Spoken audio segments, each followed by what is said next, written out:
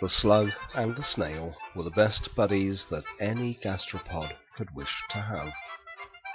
They spent hours munching away at plants and decaying matter. The one problem that they had was that the slug was envious of the snail's shell and wondered why he was born deficient of protection. The lack of shell made the slug less attractive to all the other creatures in the garden. Although a lot of people could cope with snails, nobody liked slugs. A French garden is a joy for wildlife. Jean-Claude, who had the garden these friends lived in, grew a huge variety of crops asparagus, lettuces, cabbages, and of course garlic, along with the other many tasty plants. One day Jean-Claude was harvesting his bounty when he decided to collect the snails that were eating his vegetables. He avoided the slug, too ugly, too slimy, and very revolting.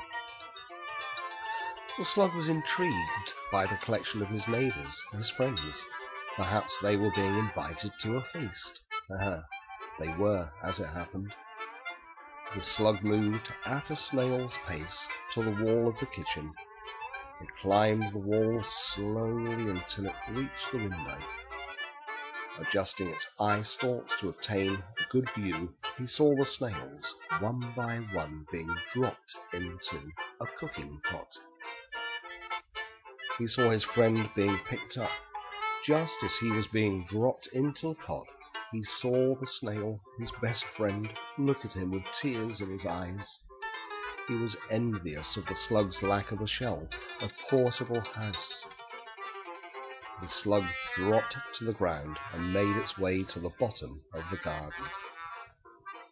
The following day, Jean-Claude emptied his recyclable rubbish into the compost heap. Usually a source of good waste for the slug, this new arrival contained shells. As he made his way towards them, he saw the empty shell that had belonged to his best buddy. Rather than climbing into it, the slug thanked its lucky stars that it had never had a shell. He had avoided being caught, being cooked, and being eaten with garlic butter. Then the frog snapped him up the time for the end of a great friendship had come for both of them for the time being. When the frog was caught and its legs were eaten, the essence of the two best buddies met again in Jean-Claude's stomach.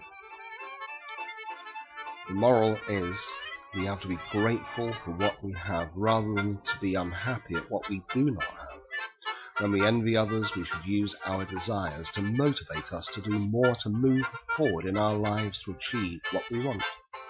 Envying others never gets for us what they might have. Only our own efforts will achieve our goals.